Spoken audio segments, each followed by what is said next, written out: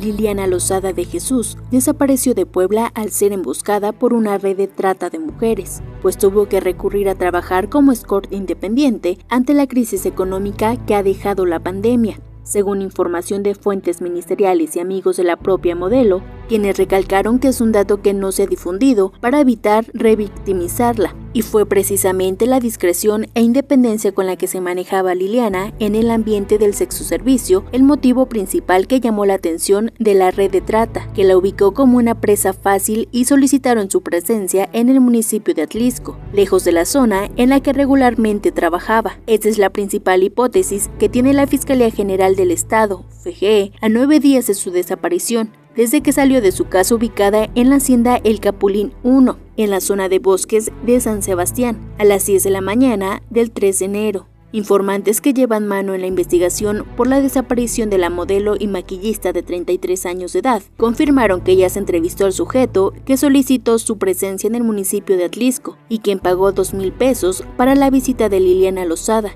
quien se presentó bajo el nombre de Zoe o Sophie. El cliente fue detenido y liberado al demostrar con pruebas que si bien solicitó el servicio de la modelo, también pagó y se retiró del lugar del encuentro. Después obtuvo su libertad, pues evidenció que supuestamente no tuvo que ver con la desaparición de la mujer, de acuerdo con las fuentes oficiales, cada día que pasa sin aparecer Liliana, se fortalece la hipótesis de la red de trata, pues ni siquiera su cuerpo ha sido hallado en ninguna zona del municipio, que es la puerta a la Mixteca o en el trayecto de Atlisco hacia Bosques de San Sebastián. Por otra parte, poblanas que también se desarrollan en el ambiente de los acompañantes y el modelaje como decanes, confiaron que desde el domingo 2 de enero supuestos clientes del municipio de Atlisco estaban buscando mujeres para un presunto evento. Les revelaron que existe miedo en el gremio tras la desaparición de Zoe y hasta consideran dejar de promoverse como decanes o modelos independientes en páginas de internet. Las horas pasan y la angustia aumenta, la tensión e incertidumbre que vive la mamá de Liliana y principalmente sus dos hijos crece cada minuto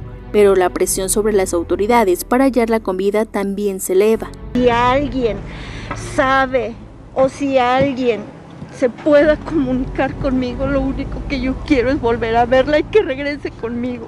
Ese es el fin de la marcha. Y así me vaya a México, me vaya donde me vaya.